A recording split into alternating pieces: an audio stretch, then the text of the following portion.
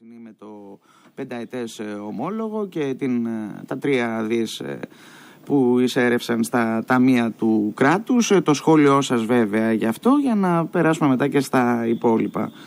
Ναι, δεν είναι τόσο τα οικονομικά. Τα νέα χρήματα που εισέρεσαν είναι μόνο 1,5 δις περίπου. Ε, αυτό που περισσότερο έχει σημασία είναι ε, το συμβολικό του πράγματος, το γεγονός ότι η χώρα μας κατάφερε να βγει με ένα ικανοποιητικό επιτόκιο, λίγο χειρότερο από ό,τι ήταν το 2014 σε σχετικούς όρους. Δηλαδή το λεγόμενο spread από το που δανείζεται η Πορτογαλία και που δανείζεται η Γερμανία ε, μεγάλωσε όλο αυτό το χρονικό διάστημα, αλλά παρόλα αυτά, ε, επειδή δεν είχαμε όλο αυτό το καιρό καν τη δυνατότητα να βγούμε, είναι ένα σημαντικό βήμα, το οποίο όμως αν δεν ε, ακολουθήσουμε και επόμενα βήματα θα πάει χαμένο. Ελπίζω να μην συμβεί αυτό. Ναι, το ελπίζουμε όλοι. Ήθελαμε να ρωτήσουμε έτσι τεχνικά για να μας εξηγήσετε περισσότερο. Γιατί κάποιοι έλεγαν, ανάμεσά τους και ο κύριος Τουρνάρας φέρεται να έλεγε να μην βιαστούμε, να βγούμε σε αγορές και η κυβέρνηση φάνηκε να θέλει να το κάνει την πρώτη δοκιμαστική έξοδο έτσι, γρήγορα σε μια συγκυρία τώρα. Τι, τι μετράει ο καθένας και λέει τώρα ή αργότερα; Ε, κοιτάξτε, ε, σε σχέση με απόλυτους όρους, δηλαδή με τα χρήματα που πληρώνει ο ελληνικός λαός, εάν η κυβέρνηση είχε τη δυνατότητα και την πρόθεση να ολοκληρώσει γρήγορα μια αξιολόγηση περί το τέλος Σεπτεμβρίου, τότε βγαίνοντας σε αγορές και περισσότερα χρήματα από αυτά τα τρία δις που αναγκάστηκε να κόψει και να μην ζητήσει μέχρι τα τέσσερα δις που είχε την ε, δυνατότητα. Ε, αυτά τα τρία δις θα ήταν περισσότερα χρήματα και θα τα έπαιρνε με χαμηλότερο επιτόκιο. Ε, όμως η κυβέρνηση θέλησε πιο πριν ε, να προσπαθήσει να χτίσει για εσωτερικούς λόγους αυτή την, αυτή την αφήγηση, αυτό το success story το δικό της, ότι βγαίνει με αγορές και τώρα όπου να είναι ε, θα τελειώσουμε σε ένα χρόνο και από τα μνημόνια. Αυτό που ε, λέει ο κύριος Τσίπρας και μας είπε χθες το βράδυ στη συνέντευξή του ναι. είναι ακριβώς το ίδιο story που έλεγε ο ε, κύριος Σαμαράς αν θυμάσαι το 2014. Ναι και βγαίνει βέβαια τώρα η Νέα Δημοκρατία και λέει ότι αν είχαμε μείνει με τον ε, κύριο Σαμαρά το 2014 τώρα θα ήταν παρελθόν τα μνημόνια. Έτσι, το πιστεύετε εσείς αυτό δηλαδή ότι θα μου πείτε υποθέσεις κάνουμε γιατί δεν ξέρουμε πώς θα ήταν τα πράγματα. Ε, καταρχήν μια χώρα η οποία βρίσκεται με τα μνημόνια, δηλαδή με ε, υποβοήθηση, έτσι να δώσω σαν ιατρικό ναι, ναι. Ε, όρο, ε, δεν μπορεί να φύγει αυτή η μηχανική υποστήριξη τόσο γρήγορα και τόσο απλά. Δηλαδή και ο κύριος ε, Τσίπρας κάνει το ίδιο λάθος με τον κύριο Σαμαρά λέγοντας ότι υπάρχει ένα άμεσο ορόσημο τον Αύγουστο του 2018 στο οποίο θα φύγουμε. Εγώ σας κάνω την πρόβλεψη ότι δεν θα φύγουμε από τα μνημόνια. θα πάρουν μια διαφορετική μορφή αυτά τα μνημόνια. Θα είναι μνημόνια ώστε να μπορέσουμε να πάρουμε τις ε, βελτιώσεις στο πεδίο του κράτους. Δεν θα είναι για να παίρνουμε χρήματα. Θα είναι προληπτικές γραμμές, θα είναι, θα είναι, αλλά πάντως δεν πρόκειται να φύγουμε εντελώς από τα μνημόνια όπως ε, ο κ. Τσίπρας θα ήθελε να μας κάνει να πιστέψουμε. Κύριε Θεοχάρη, τις προηγούμενες μέρες με ερώτησή σας στον Πρωθυπουργό ζητήσατε ενημέρωση για τα απεπραγμένα στην οικονομία το πρώτο εξάμεινο του 2015. Και το ερώτημα είναι, εφόσον δεν ακολουθήθηκε ούτε η γραμμή Βαρουφάκη, ούτε το σχέδιο της αριστερής πλατφόρμας για έξοδο από την Ευρωζώνη και η επιλογή Τσίπρα ήταν αυτή που και εσείς πρεσβεύετε, δηλαδή διαπραγμάτευση εντός της ζώνης του ευρώ, τι νόημα έχει όλη αυτή η συζήτηση; Ε, καταρχήν είναι προφανές ότι αυτή η συζήτηση δεν την ε, ξεκινάει η αντιπολίτευση, δεν ξεκίνησε η ερώτησή μου, ξεκινάει από τις αποκαλύψεις του ίδιου του κ. Βαρουφάκη. Mm-hmm.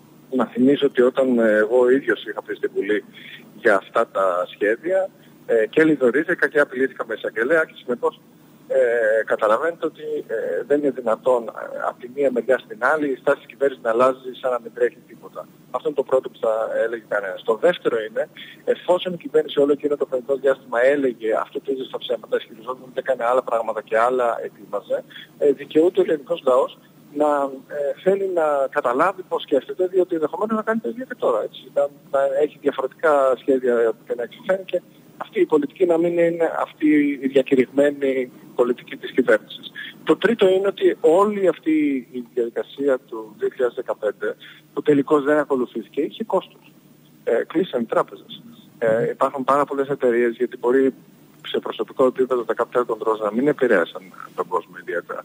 Όμως σε εταιρικό επίπεδο στις, ε, τράπεζες, στις εταιρείες οι οποίες εξάγουν, στις, στους συνεταιρισμούς οι οποίοι θέλουν να κάνουν τη δουλειά τους και να στείλουν προϊόντα στο εξωτερικό, ε, δημιούργησε ε, πάρα πολλά προβλήματα και ακόμα σε ορισμένες περιπτώσεις δημιουργεί. Συνεπώς ε, οφείλουμε να, να δούμε και να κρίνουμε ε, πώς η κυβέρνηση ενήργησε με τόση αφέλεια ε, όλο εκείνο το χρονικό διάστημα και πώς είναι δυνατόν άνθρωποι οι οποίοι δεν μπορούν πραγματικά, να το πω κατά το κοινός λεγόμενο, να χωρίσουν δυο γαϊδάρων άχυρα, να καταλάβουν ε, τι, τι ε, σημαίνει η, η, δουλειά που πρέπει να γίνει. Ο ίδιος ο Πρωθυπουργός μάλιστα λέει ότι όλα αυτά ήταν ασαφή, αφελή και τελικά χαρακτήριστα και δεν ε, μπορούσε να, ε, σε αυτό να στηριχθεί. Όμως ήταν ο ίδιος ο Πρωθυπουργός ο οποίος ακούγοντας τα όλα αυτά τα ασαφή είπε, μας λέει ο κύριος, ο κύριος Βαροφάκης, ότι του έδωσε την, το Υπουργείο Οικονομικών.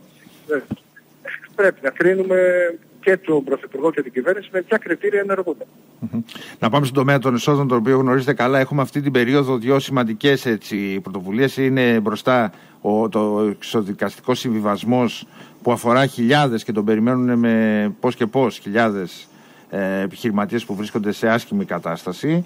Και από την άλλη μεριά γίνεται ακόμα μια προσπάθεια νέα, έτσι, με παρατάσεις κτλ. για να δηλωθούν εισοδήματα που είναι στα, ε, γκρίζα ζώνη, ας πούμε, που δεν έχουν ναι. δηλωθεί. Ε, βλέπετε, εκτιμάτε ότι μπορεί να έχουν θετικά αποτελέσματα αυτές οι κινήσεις ή δεν θα φέρουν κάτι; Ε, όλες οι κινήσεις κάποιο αποτέλεσμα θα φέρουν. Το θέμα είναι αν όλη η ενέργεια που σπαταλιέται, οι ευκαιρίες που χάνονται, αν είχαν οργανωθεί λίγο καλύτερα, αν θα είχαν ακόμα καλύτερο αποτέλεσμα. Ο εξοδικαστικός συμβασμός στην πραγματικότητα έχει τόσες, ε, τόσες προϋποθέσεις που ίσως τελικά πάρα πολλοί από τους ε, επιχειρηματίες να μην μπορούν να ενταχθούν σε αυτό. Θα το δούμε αυτό στην πράξη. Ε, αλλά κυρίως και αυτοί που θα ενταχθούν στο βαθμό που έχουν κάποιον αριθμό είναι ε, ε, κάποιοι χιλιάδες ή δεκάδες χιλιάδες επιχειρήσεις οι οποίες θα ενταχθούν. Ε, θα πρέπει να δούμε κατά πόσο όλη η διαδικασία μπορεί να γίνει με γρήγορες διαδικασίες ή θα είναι ε, πολύ χρονοβόρα και έτσι θα κολλήσει και πάλι γιατί να μην ξεχνάμε ότι καταλήγει στα δικαστήρια. Είναι εξοδικαστικός συμβασμός μόνο κατ' επίφαση. Ε, το όνομα είναι λανθασμένο. Είναι ένας δικαστικός συμβασμός ο οποίος έχει έτσι γρηγορότερες διαδικασίες από τον ε, συνήθι. Ε, όσον αφορά τα δίλαντα εισοδήματα, ε, κατά την άποψή μου ήταν μια πλήρης αποτυχία η πρώτη περίοδος αυτού του μέτρου. Δεν δηλώθηκε κανένα νέο αδίλωτο ε, εισόδημα. Δηλώθηκαν μόνο εισοδήματα τα οποία ήδη τα είχε βρει η φορολογική διοίκηση, διότι οι περισσότερες των περιπτώσεων, ε, αν μην σας πω στο 100% ας πω στο 90% και ε, ήταν περιπτώσεις στις οποίες ο φορολογούμενος είχε ήδη μπει στην πίτα του ελέγχου, ετοιμαζόντουσαν ή ήταν κοντά ή λίγο πιο μακριά από το να ολοκληρώσουν τη διαδικασία και να ε, καταλογίσουν κάποια πρόστιμα φοροδιαφύγης. Και σε αυτή την περίπτωση είχε το κίνητρο ο ελεγχόμενος να πάει να δηλώσει ε, η ίδια ή και λίγο λιγότερα και έτσι να κλείσει την υπόθεσή του. Ε, φοβάμαι ότι σε κάποιες περιπτώσεις ε, θα μπορεί αυτό να οδήγησε ακόμα και σε συνταγή μεταξύ των ε, φοριακών και των ε, φορολογουμένων. Τι να οδήγησε, συγγνώμη, δεν το ακούσαμε καθαρά. Φοβάμαι ότι σε κάποιες περιπτώσεις αυτό το κίνητρο μπορεί να οδηγήσει σε κάποιες συναλλαγές. Συναλλαγές, μάλιστα. Ε, βέβαια, μεταξύ των φορολογουμένων και της ε, διοίκησης, της, των φοριακών. Αυτό δυστυχώς ε, δεν ξεκινάει από το γεγονός ότι επέτρεψε ο εξοδικαστικός ο, ε, τα δήλωτα, οι δηλώσεις των αδηλώτων ε, εισοδημάτων ε, επιτράπηκαν να γίνουν και σε περιπτώσεις στις οποίες ήταν ανοιχτός ο έλεγχος. Αυτό είναι μια πρακτική που δεν ακολουθείται σε καμία πολιτισμένη χώρα. Το προηγούμενο διάστημα, κύριε Θεοχάρη, είδαμε μια απόφαση του Συμβουλίου της Επικρατείας ε, που κρίνει αντισυνταγματική την παράταση της πενταετούς παραγραφής των φορολογικών υποθέσεων με αποτέλεσμα διάφορες λίστες τις οποίες είχε επενδύσει η κυβέρνηση, δηλαδή λίστες Λαγκάρτ, Μπόργιανς, εμβασμάτων κτλ.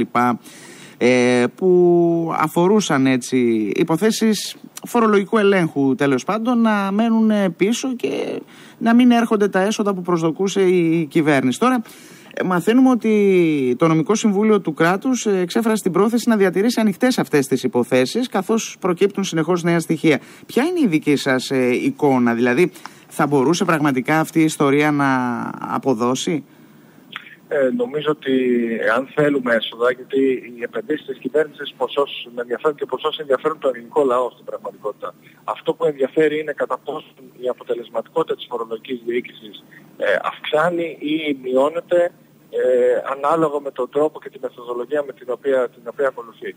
Ε, εγώ λοιπόν σας λέω, γιατί ε, προφανώς έχοντας την εμπειρία από αυτή τη θέση, ναι. μπορώ να σας το πω έτσι με πάσα ακρίβεια, ότι αυτή η απόφαση του Συμβουλίου της Επικρατείας είναι θετική για την αύξηση των εσόδων.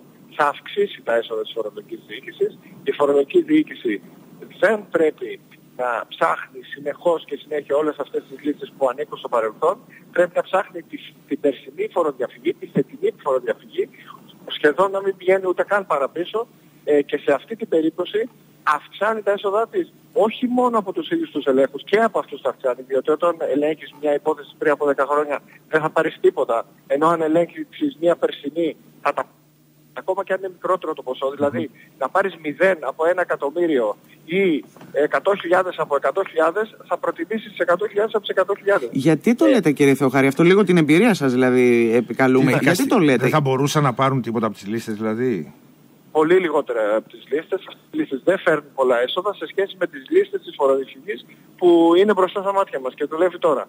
Και όχι απλώς πρωτογενός, δηλαδή άμεσα από αυτές τις υποθέσεις, αλλά και έμεσα δευτερογενός.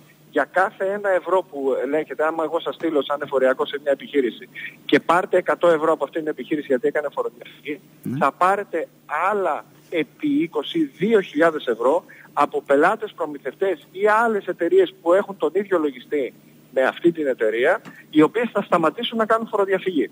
Εάν η εταιρεία λοιπόν αυτή είναι κλειστή, είναι πεθαμένη, κυνηγάτε τα παιδιά, ξέρω εγώ, ανύπαρκτους φορολογουμένους, όπως συμβαίνει πολύ συχνά σε αυτές τις λίστες, γιατί είναι παλιές, είναι δεκαετίας, είναι δεκαπενταετίας λίστες, ε, τότε χαν, κερδίζετε το ένα που δεν θα το κερδίσετε, μισό θα πάρετε σε σχέση με το ένα όπως σας είπα, αλλά χάνετε και τα 20 που έρχονται εμέσως. Οπότε σας λέω ότι η, το Συμβούλιο της Επικρατείας, παρόλο που το σκεπτικό, σκεπτικό του είναι από την άποψη του φορολογουμένου, ότι δεν πρέπει να το ταλαιπωρούμε για τόσα χρόνια και δεν μπορεί να κρατάει όλα αυτά τα στοιχεία για τόσα χρόνια, εγώ σας λέω ότι και από την άποψη των εσόδων και της διοίκησης είναι μια θετική απόφαση. Γι' αυτό το λόγο, εκτός από τα θεσμικά, οι, οι, οι κρίσεις, για παράδειγμα του κυρίου Πολάκη και των άλλων, οι οποίοι χτυπάνε τη δικαιοσύνη για αυτές τις αποφάσεις, εκτός από θεσμικά ανεπίτρεπτες, είναι και άσχετες και ανισόρυτες, δεν, δεν ξέρουν δηλαδή το θέμα. Ανεξάρτητα από τους υπουργούς όμως και παρακολουθείτε και εσείς στα κοινωνικά δίκτυα, υπάρχει και ο κόσμος που εκφράζεται και λέει ότι τι έγινε, όσοι ε, πέρασαν τώρα αυτά και δεν θα πληρώσει κανείς για προηγούμενες υποθέσεις. Θέλω να πω ότι προκαλείται κατά κάποιο τρόπο το, περί, ε, το κοινό περιδικαίου αίσθημα με τέτοιες ε, αποφάσεις.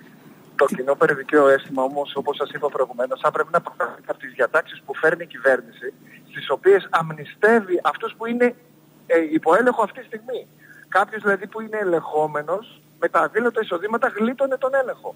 Και μάλιστα, εάν έχει συνεννοηθεί και ξέρει πόσο θα του καταλογιστεί, ε, δηλώνει κάτι ώστε να του έρθει λίγο φθηνότερα.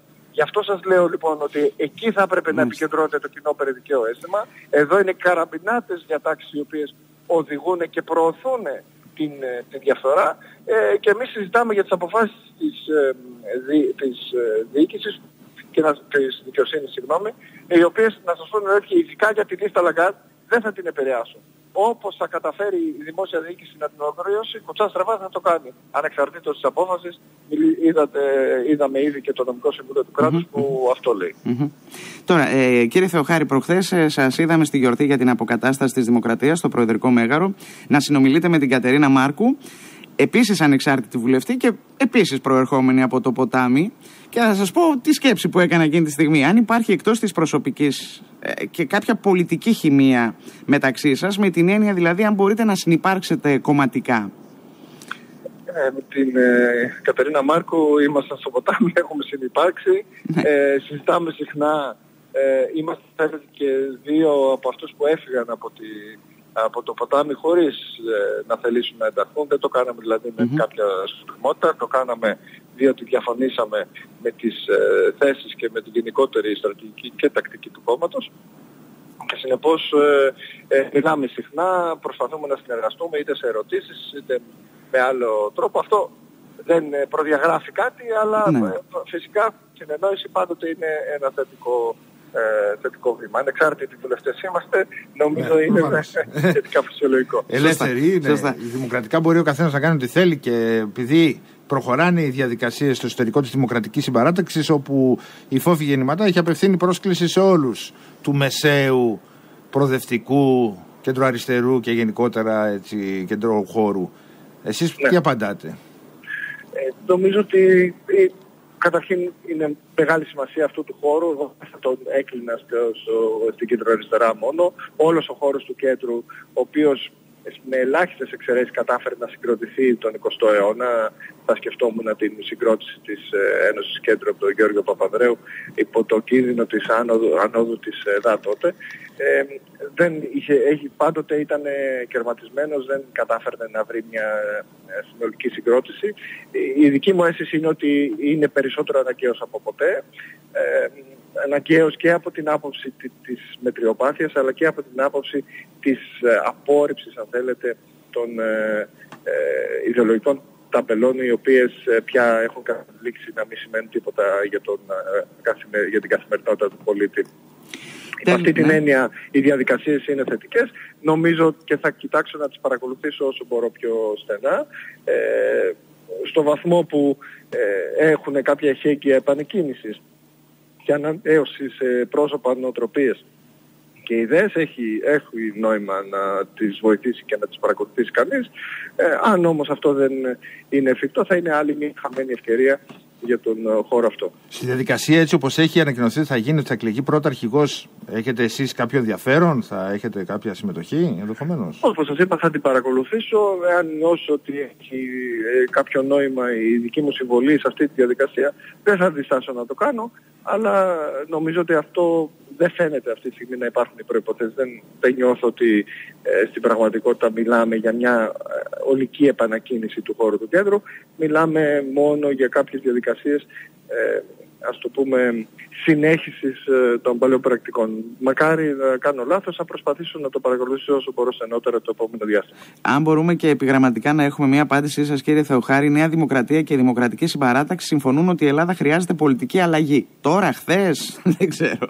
Ε, ποια είναι η δική σας θέση; Ε, συμφωνώ, αλλά είναι λίγο ευρύτερο από πώς το θέτει η Νέα Δημοκρατία και η Δημοκρατική Συμπαράταξη. Χρειάζεται μια πολιτική αλλαγή. Ε, ε, αλλαγή με την έννοια ότι ο ΣΥΡΙΖΑ ακολουθεί τις πρακτικές της Νέας Δημοκρατίας και της Δημοκρατικής Συμπαράταξης. Είναι πως θα πρέπει να αλλάξει ο ΣΥΡΙΖΑ και να σταματήσει να τις ακολουθήσει, να τις ακολουθεί και η Νέα Δημοκρατία να μην ονειρεύεται μια απλή και η Δημοκρατική Συμπαράταξη πάλι νόρθωση του προηγούμενου καθεστώτος, να γυρίσει ο ΣΥΡΙΖΑ στο 4% να πάει ξανά το ΠΑΣΟΚ στο, στο 35% ή αντίστοιχα να πάρει την εξουσία η Νέα και να αλλάξει τα πρόσωπα του ΣΥΡΙΖΑ και να μπορέσει να ξαναχτίσει το δικό της ε, ε, καθεστώς. Δεν νομίζω ότι αυτό είναι που χρειαζόμαστε αυτή τη στιγμή. Η χώρα έχει χάσει ε, το συλλογικό της όραμα.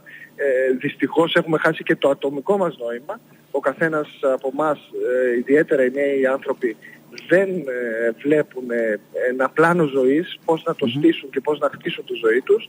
Ε, αυτούς έχουμε προδώσει. Είναι διαγενειακό το ζήτημα, κατά την άποψή μου δεν είναι ταξικό, δεν είναι αριστερό-δεξιό. Εάν δεν μετουσιώσουμε τις πολιτικές οι οποίες θα παίρνουν τη σκητάλη από τις μεγαλύτερες γενιές και θα τις δίνουν, τις δίνουν τη σκητάλη αυτή στις, ε, στις νεότερες, αυτές που έχουν ενέργεια και δύναμη και όρεξη να δημιουργήσουν πλούτο και να μοιραστούν αυτό το πλούτο με τους υπόλοιπους, ε, νομίζω ότι θα, η χώρα αυτή δεν πρόκειται να βγει ουσιαστικά από την κρίση και απλώς θα εναλλάσσει τα ψεύτικα success story ε, σε μια επικοινωνιακή, ε, ένα επικοινωνιακό βάλς. Κύριε Θεοχάρη, σας ευχαριστούμε θερμά. Ευχαριστούμε πολύ για την συνομιλία. Καλό μεσημέρι.